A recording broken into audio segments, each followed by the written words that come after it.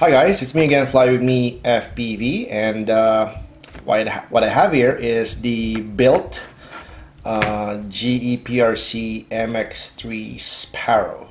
It's a it's a three inch uh, frame, or it can, it can it can accommodate three inch propellers. Anyways, I have a part one video of this. If you haven't checked it out, I'll be putting it at the bottom of this video somewhere or in the description. Uh, I just went through the parts and uh, or what came with the frame.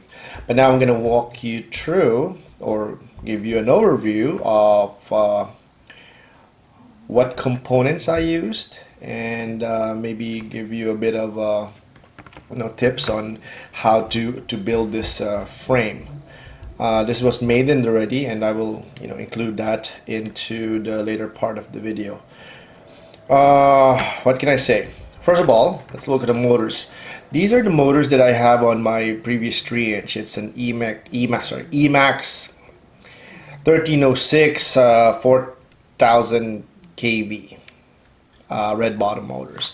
I've been using them uh, well for my 3 inch uh, builds in the past and I just um, moved them over because I destroyed my uh, last remaining uh, 3 inch quad. So the motors were uh, moved here and uh, I got uh, new or uh, ESCs that I have uh, running around. I'm, I'm, using 15 amp Emax bullet ESCs here. you can't see it because I already put electrical tape but those are the ESCs. The motors are Emax again 1306 4000 kV. Uh, the props are, I think it was this are just a DYS uh, 3x4 or 3 by 4.5. So I have a bunch of them. That's why I put them in here. Now the camera, if you notice, uh, that's a Runcam Micro. This one. Uh, it fits perfectly in the frame. You don't uh, even have to put, you know, like cut cut uh, nylon standoffs. I've saw I've seen that in other builds, wherein they cut the standoffs and then use that as spacer so that it would fit the. You know, I think this is for four and five inch frames, but here it is perfect. It fits perfectly there, and it's well protected by this uh, aluminium uh, assembly here. A big fan of this type of frames. Uh, you know, the the one that I'm using the Beast X uh, has this too. Uh, GEPRC, some of their bigger frames have them too. Uh, D-Quad Obsession, you know, those kind of uh, frames. I'm really good, uh, a big fan because it really protects the the the camera and all the other, you know, uh, components, electronic components. So that's the that's camera, Runcam um, Micro. Now, I don't know if you can see here, but I'll try to go through the... I basically used a Furious FPV PDB and a Piko BLX uh, clone uh, controller, uh, flight controller, and uh, it's not on 3.2 Betaflight yet. I installed uh, uh, 3.17, I believe, or 3.1.7 anyways not the not the 3.2 that's what I'm trying to say. But the reason why I did that is because on my previous build I the Piko BLX can actually uh, it is also a PDB but I have uh, encountered problems when you know doing some crazy punch outs that uh, the quad just drops in the air. So I think uh, the amp draw uh, you know punch outs or whatever. Any any maneuver that requires amp draw uh, it this one reboots or whatever. So I been very successful using a separate uh, PDB so and that's uh, Piko BLX uh, uh, flight controller over there. I am using an XM Plus receiver. I don't know if you can see it there but that's the XM Plus receiver there um, nothing really special about that. It's pretty cheap and it's uh, has a very very small form factor. So uh, that's what I used, and uh, it's pretty easy to bind. Uh, nothing really special about it. And uh, run the antennas here. This is what I like about this frame. They they came with these uh, two sets of different longer size and uh, this one this is the one that I use so really nice I just had to uh, hot glue it there on uh, the piece of carbon fiber that was included there.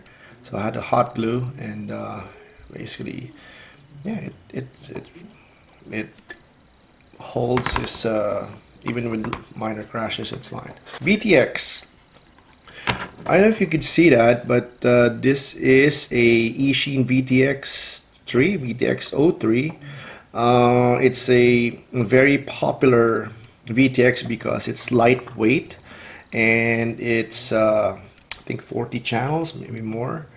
And it has different uh, power levels too. So I don't know if you could see that but that's the backside of the VTX there you go. I'm using a linear uh, antenna for now until I could get my uh, AXII uh, antennas that have UFL connector. So for now, this is, uh, and you could probably see that on the maiden video I'm getting a bit of, uh, you know, static or whatever, like interference because as you know, you know, linear is not really good when you're doing flips and rolls. So that is just temporary for now. I'll be replacing that. So let's go through that again. Uh, I'm using a Furious FPV PDB. I'm using a clone Piko BLX, an XM Plus uh, receiver, basically XM Plus has two antennas. Uh, Runcam Micro, there you go, and a Eachine VTX, uh,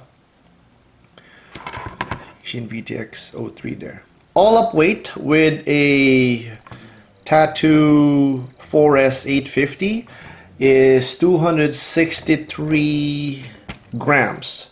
So, you know, 13 grams, kind of over the 250 uh, limit, so to speak. But uh, it is one of the lightest quads that I built, considering that there's a, you know, aluminium uh, parts in, you know, this whole assembly. Usually these are just carbon fiber, but I think by choosing the VTX03 and having it on linear antenna and a 20 by 20 footprint uh, flight controller, that kind of you know uh, contributed in uh, lowering the weight.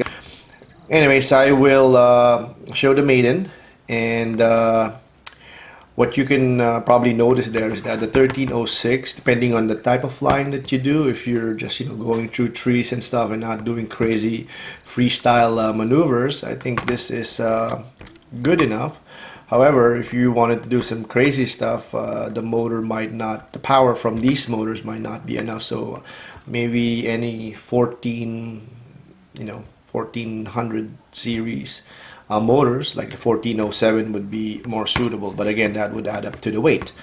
Uh, I will probably change my motors in, uh, you know, in a few months because I have a lot of these uh, Emax 1306 and uh, see how it goes. But for now, I'm very uh, happy with the build and uh, the weight and how the components uh, go uh, in this whole assembly. Uh, it's not really tight. You have a lot of wiggle room a lot of uh, you could probably add another stack there. If you notice it's not really reaching the top but you know that's all, all, up to you. I'm not running any OSD here. I just run off timer and I'm pretty comfortable with that. Some like you know to see voltage and all that other stuff uh, for 3 inch uh, no, I'm not really particular. So anyways uh, guys that is the uh, GE MX3 Sparrow frame. And I'll show you the maiden video. Thank you